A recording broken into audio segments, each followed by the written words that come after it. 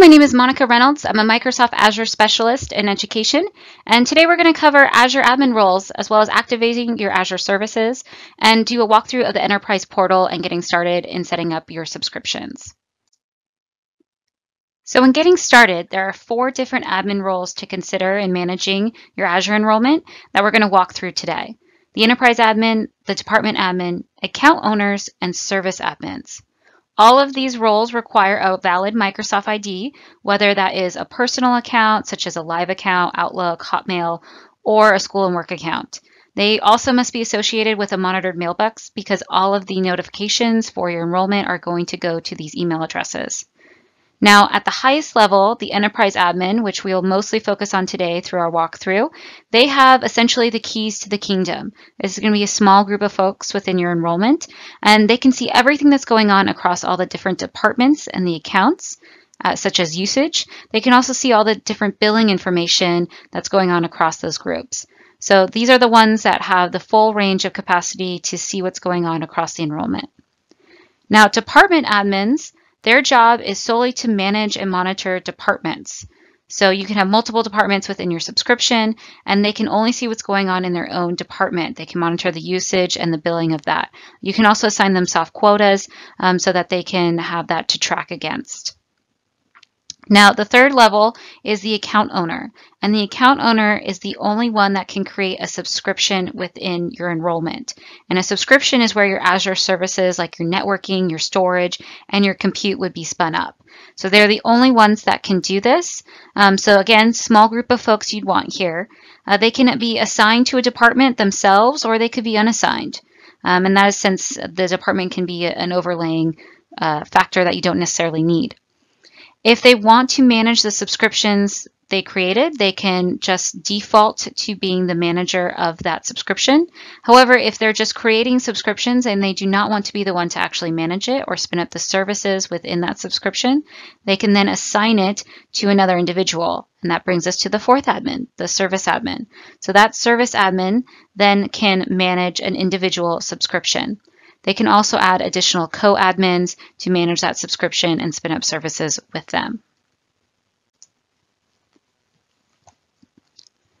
So I mentioned that the department can be created but is not required. So as we go through the setup, something to think about for your own environment is how centralized or decentralized you want your enrollment to be.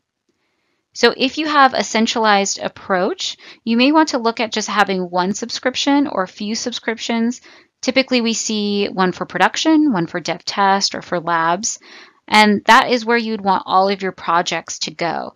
You would then be using role-based access um, and our resource groups and resource tags to actually monitor and do chargebacks.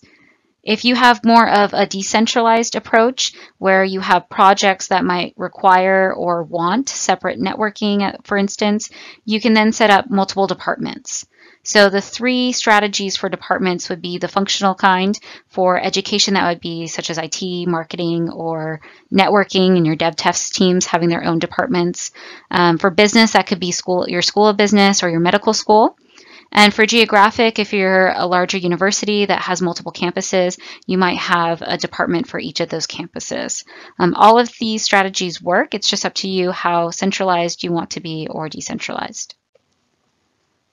So the final step before we actually dive into the enterprise portal is actually activating your Azure services.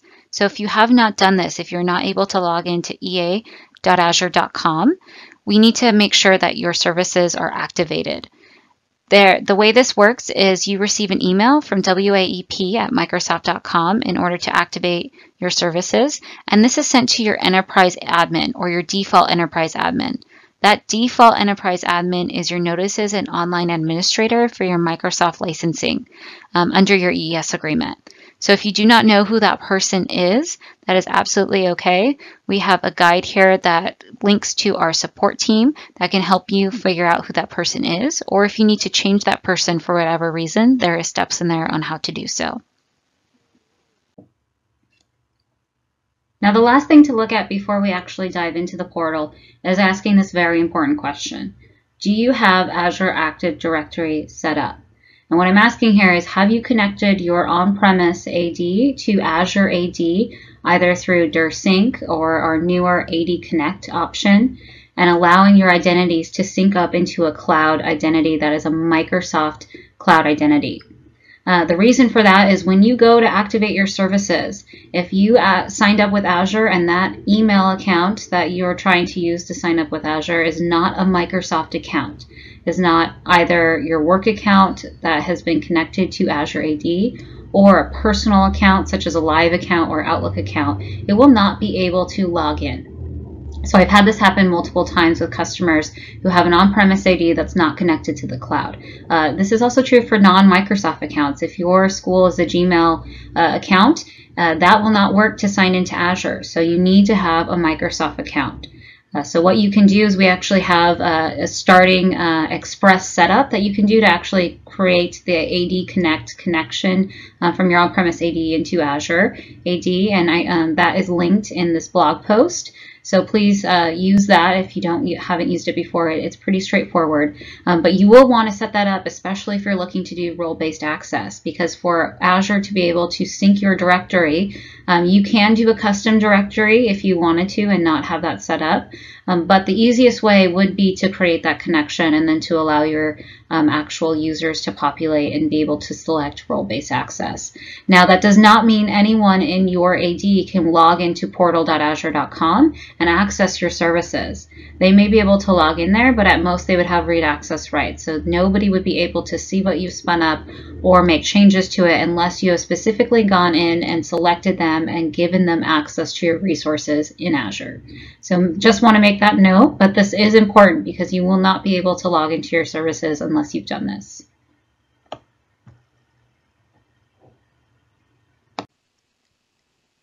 So welcome to the Enterprise Admin Portal. So for you, this would be ea.azure.com. For me, this is a demo site. As you can see, we have an enrollment number here to show to you. You would have your company name, a much more coherent name. And just to show you a little bit, this is the home page for your EA portal. So I notice you have all my enterprise admins here. Again, these are the folks that have the keys to the kingdom. And then I can also add notification contacts. So if I just want somebody to be able to log into the portal and get information, they can do so uh, without actually having full admin rights. I can edit the enterprise admins here, notifications. If I want to give them read-only access, all of that can be done here as well. Now, going through the list here on just some details on my enrollment, you notice it says mixed account. What that means is I have both Microsoft accounts and work in school accounts that are able to log into my portal here. That means both Microsoft personal accounts and my work in school accounts can log in here. If I wanted this just to be my work or school accounts, since this is for a work or school enrollment, I can change that to just work or school only. I can also change it to work or school cross tenant. So if we have an at myschool.edu and an at school.edu uh, as both emails that we'd be working out of, we could do that and have it as a cross tenant. Um, or if I also do have some personal accounts logging in, I'll keep it as a mixed account. You see the start and end date of our renewal. So that is when our Azure monetary commit would renew. Um, so let's say as a school, I bought $5,000 in Azure commit to use um, until June 30th. What this billing cycle means is after I've used that amount, I would be billed quarterly for my reseller. There's no change to your pricing or anything along those lines. Just once you've used your commit amount, you turn into a sort of a utility bill style um, from Azure where you would receive a bill every three months uh, for what you've used those previous three months. I also can see my support coverage. And then I see Azure Marketplace. So Azure Marketplace is also where you can go and buy additional services within Azure that would not be covered by your monetary commit. So a great example is a WordPress site. I can go and spin up a WordPress site uh, directly from Azure, and that would be billed separately outside of my monetary commit. So just take a note of that. You can disable it, which means no one in your organization can go in and spin up something that would be a marketplace service and build separately. Or I can enable it and allow them to do so. If I wanted to leave it disabled, but down the road I decided I did want an Ubuntu server or WordPress site, I could absolutely enable it, spin up that service, allow that service to run, disable the marketplace, and then that service I can continue being charged on and, paying for without allowing additional marketplace purchases to be made. So that is an option. You also see down here, once you've done this yourself and created departments and accounts, it'll give you these options to enable DA view charges and AO view charges. This is referring to your department admins and your account owners. So what this is asking is if your department admin or your account owner were to log in to ea.azure.com, like we have done, do you want them to be able to do so and then see the billing and usage information related to their departments and accounts? So what that means is if uh, as a department admin, if I were to log into this portal, I would see instead of all four tabs here, I would see just this department tab and all of the usage and billing information related to just my department. As an account owner, I would see just these two tabs. So you can make that enabled or you could also disable it. The choice is yours. So let's walk through this a little bit. Going into departments, you can see my account already has two departments. Um, and what's what you're seeing here is a spending quota assigned to it. So really adding a department comes down to also, do you want to assign a, a soft quota to them? So in adding a department, um, I just need a department name. I can assign a cost center. And then a spending quota is a soft quota, so I could say I want to allow $5,000 towards this department, and it will send that department admin and myself notifications on how closely they're using that spending quota, but it's a soft quota, so it will not shut off their services if they were to go over it. I can then assign an admin for this department I can also give them read access rights only. Um, and then I can also set those spending, there's those notification options. It comes at 50%, 75, 90, and 100. So that gives you some ideas uh, of around departments and those quotas. I can also add an admin for this department as well as adding the department itself. The department could exist without an admin. If it didn't have an admin, it would have the enterprise admin as the default. Now, if we go over to accounts, I can see all my accounts listed here. And just a reminder, account owners are the only ones that can create subscriptions. So these are the folks that have the right to create spaces where services can be spun up. Now you notice I have um, quite a few account owners here and some of them are assigned and some of them are not. So that is up to you. If you are doing more of a centralized model, you do not have to assign them to a department. If we were to go in to just look at who this account is, the name that would probably be your own name as an account owner. It could be a group, like you have a networking team and you have a general account owner email. That could be one. And then you have the department here that it could be associated with. You might notice it also has a, a dev test option. So if you have an MSDN subscription, associated with this uh, account or this person that would be the account owner, uh, you could enable this account as a dev test account. So all of the subscriptions that are spun up would have the option to be a dev test instead of a production subscription. And then finally, we have our subscriptions. So you can see all the subscriptions related to our group.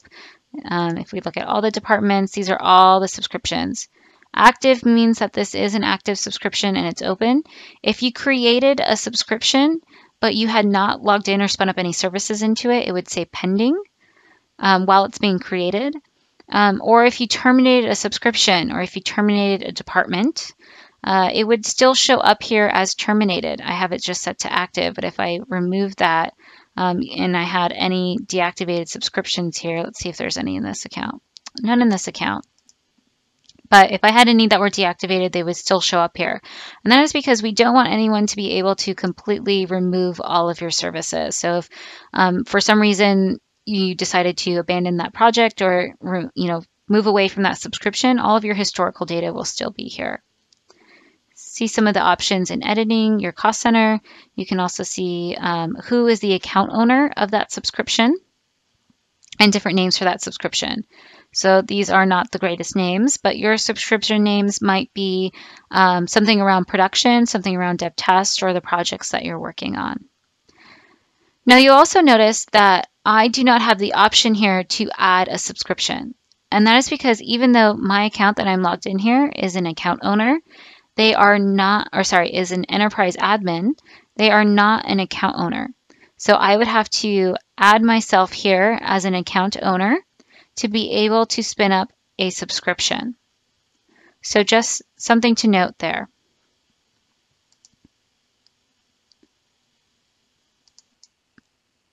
So the last thing to just briefly touch on before uh, we end this quick demo here is some best practices for creating enterprise admins and account owners and so on. Now, again, these don't really uh, speak to who these people are, but you could have your own emails in here. What we also suggest that is that you have a generic email.